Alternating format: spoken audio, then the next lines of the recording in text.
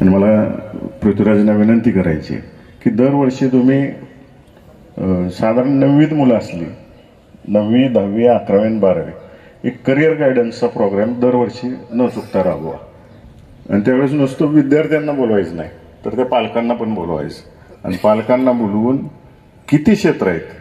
जगामध्ये आज एवढे क्षेत्र आहेत की प्रत्येक ठिकाणी वेगळी वेगळी संधी उपलब्ध होऊ शकते.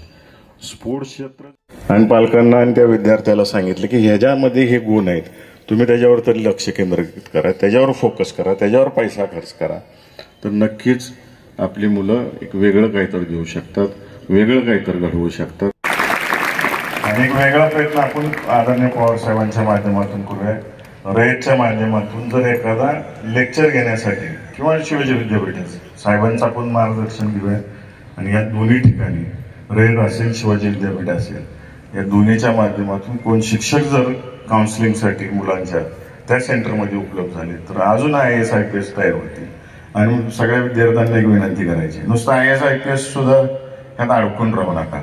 युएन सर्व्हिसेस सुद्धा साहेबांना माहिती मोठं झालं नाही आपल्याला सगळ्यांना. म्हणजे शशी थरूर नाव किती जणांना ऐकून आहे हात वर करा पण मुलांना कोणाला माहीत नाही. बिग बॉस मधले कलाकार किती माहीत आहेत? हात वर करा पण भाऊ लाजायच नाही. हात वर करा पण बिग बॉस वरच बघतील आमची मुलं. तर हिस्ट्री चॅनल बघणार नाही एपिक चॅनल बघणार नाही. डिस्कवरी चॅनल बघणार नाही. किती जण बघतात? मी आता तीन शेवटचे चॅनल नाव घेतली. किती जण बघतात? बस. ठीक. बरं हात खाली घ्या. आणि बिग बॉस किती जण बघतील?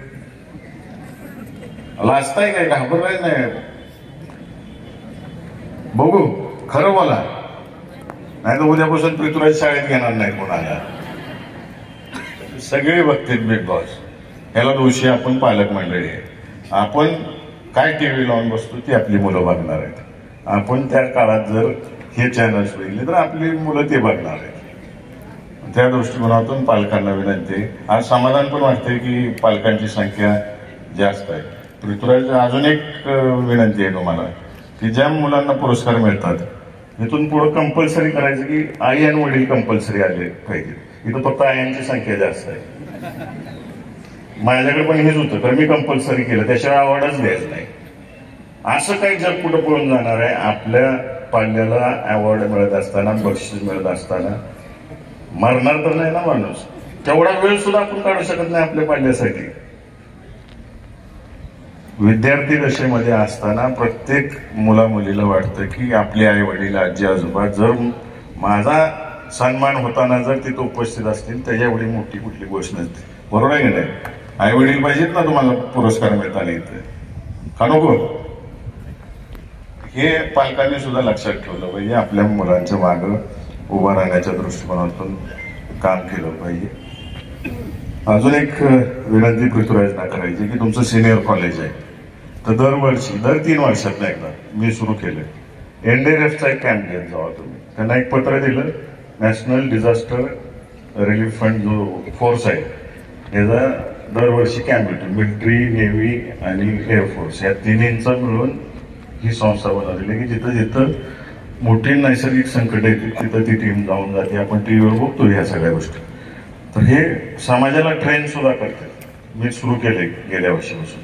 तीन दिवसाचा कॅम्प असतो. येतात आणि कॉलेजची मुलं असतील स्कूलची मुलं असतील शिक्षक मुलं सगळ्यांना हे नैसर्गिक आपत्तीला आपण कसं तोंड द्यायचं जे ट्रेनिंग देतात.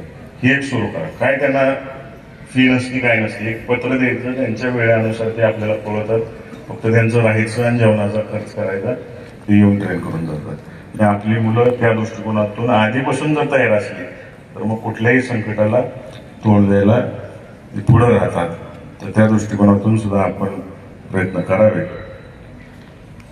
आता सगळ्यांना पुरस्कार पाहिजे आणि मी तो मिळणार आहे. त्याच्याकडे सगळ्यांचं लक्ष आहे. त्यामुळे घाबरू नका आयुष्यात. तुम्हाला जे करू वाटतंय ते करा. त्याच्यावर फोकस करा. मी अत्यंत साध्या कुटुंबातली उदाहरणं तुम्हाला सांगितली. कुठली मोठी उदाहरणं सांगितली नाही कुठला मोठा शास्त्रज्ञ सांगितलं. नाही सर्वसामान्य कुटुंबातली मुलं कशी पुढे येतात आणि काय करू शकतात?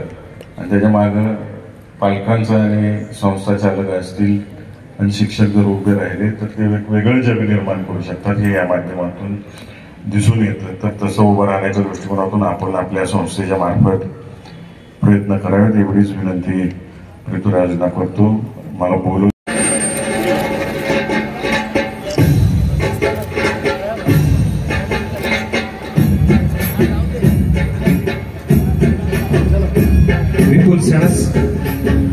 तेरावा जिल्ह्यात अकरावा. इयत्ता पाचवी शिष्यवृत्ती धारक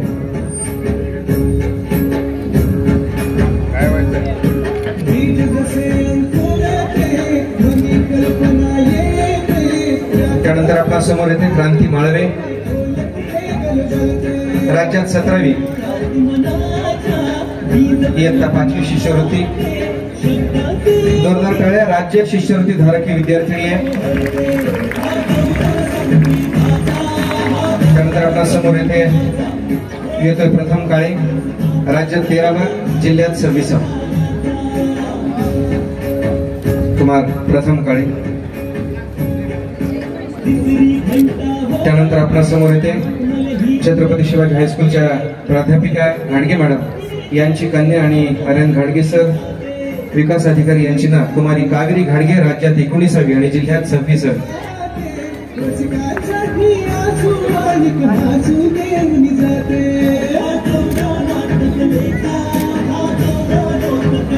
अपूर्वा खडे जिल्ह्यात तेहतीसावी. दोनशे बासष्ट गुण प्राप्त करून ही विद्यार्थिनी शिष्यवृत्ती धारक आहे. दरवर्षी या विद्यार्थ्यांना पाचवी ते आठवी पाच हजार रुपये शिष्यवृत्ती मिळणार आहे. त्यानंतर आपल्यासमोर येते सिफा तांबोळी जिल्ह्यात अडतीसावी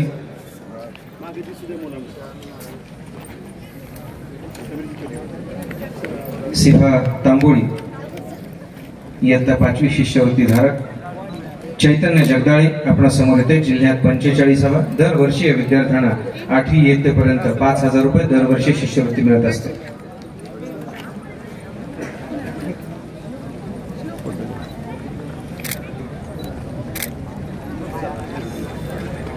त्यानंतर चैतन्य जगदाळे जिल्ह्यात पंचेचाळीसावा.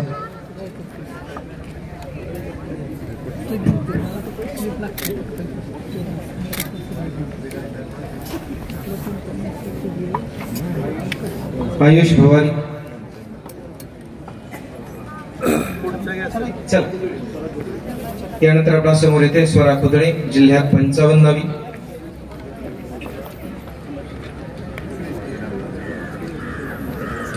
यानंतर श्रद्धा खाडे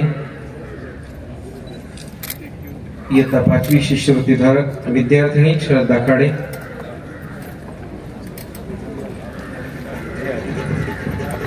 यानंतर जिल्ह्यात शहात्तरावी येण्याचा सन्मान जिला मिळाला शिष्यवृत्ती धारक इयत्ता पाचवी विद्यार्थिनी वेदिका यादव.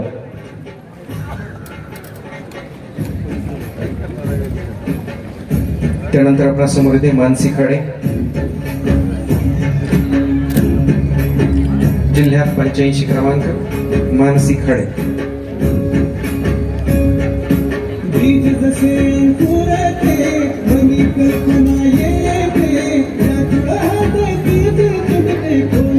मयांक जाधव.